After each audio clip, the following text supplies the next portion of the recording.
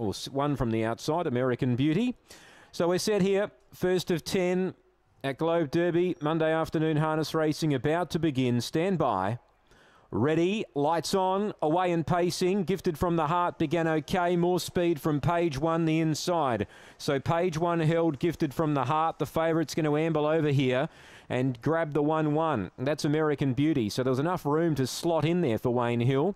On the inside behind the leader is Roberts Delight. Three back the inside is Fireball. Gee, they're going slowly here. And last of all is Sadie Jayne. I could just about get out and run past them down the back straight. And the speed is set by the one or the second favourite, Paige One, but they were going too slow there. And American Beauty now fires up around the outside. And Corey Johnson doesn't want to get into war here and lets the favourite roll on by to the lead. So American Beauty now takes over and rushes off the back straight. Bit of a, a move there by Wayne Hill early on. Paige One sits in behind it, gifted from the heart now in the breeze. Roberts Delight, who was following the leader, is now three pairs back the inside. Then Sadie Jayne and Fireball is last of all, the stablemate to the leader.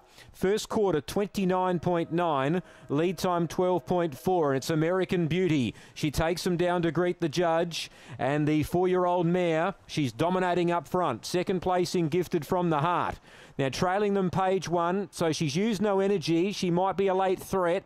Uh, fourth placing Sadie Jayne, then Roberts Delight and Fireball. But American Beauty does it well. 650 to travel, 30.5 the second quarter. It's a 60.4 half, and they go past the six now. And American Beauty still held back to them. Gifted from the heart, driven along. The inside is Paige One, the obvious Quinella horse at this stage. Then Sadie Jayne, Roberts Delight, Fireball. There's no changes. They're following the leader. The leader is American Beauty. 370 to go. She's held back to them. Hill yet to release her. Paige One behind her. Third quarter 29 9. 275 to go. Leader American Beauty. Gifted from the heart sticks on. Paige One's about to use the sprint lane. American Beauty straightens clear though. Paige One gets within eight metres, but the leader's going really, really good here. And American Beauty opens up. Race is clear. Wins by 10.